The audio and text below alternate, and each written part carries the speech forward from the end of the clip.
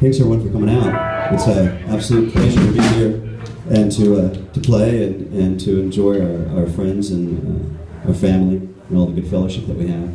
And we're going to uh, pray before we play. That's what we always do. So if, if you're the pray type, then, you know, just uh, bow your heads with me or whatever you do. And if you're not, then us, give us the same respect that you'd want. Lord, we just uh, thank you for this night and for all the bands that played and all the bands that are going to play. And uh, they're all doing it for you in your name. And uh, we're really uh, overwhelmed by your goodness and your kindness. It's, um, it's by no accident we're, we are all here uh, together in this place. And uh, Lord, we pray for your blessing. The night is yours. Do what you want with it. Uh, we have a terrible poker face. We absolutely love you. We can't pretend and fake it and all that other kind of stuff. You know, a lot of people try to pretend. Uh, like Jason was saying earlier, you know, be proud of who you are. I mean, yeah, you know, we're not ashamed of you. That's what I mean to say.